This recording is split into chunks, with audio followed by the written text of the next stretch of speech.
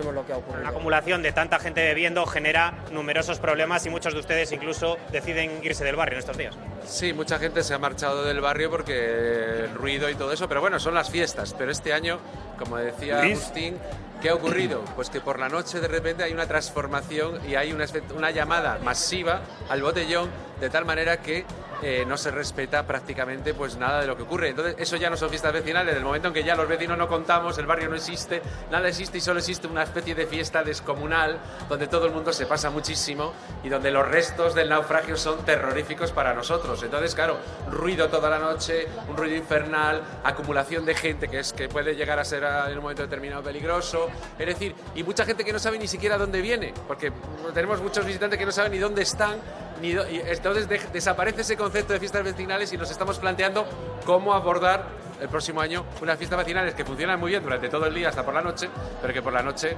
se transforman en un infierno. Te escucho, Emilio. Mira, estamos viendo mientras eh, estamos en directo cómo pasan los lateros con sus latas vendiendo y hablando de latas, por cierto, justo detrás de ese grupo de vecinos, en esos polletes que hay ahora mismo jóvenes bebiendo, pues ya estamos viendo latas que se dejan ahí, bueno, pues eh, que se acumula la basura. Claro, yo no sé cuál es la solución que piden los vecinos, porque el ruido es difícil, pero la basura, faltan contenedores o aunque se pongan 100.000 contenedores, la mierda, como decimos, va a seguir estando todo.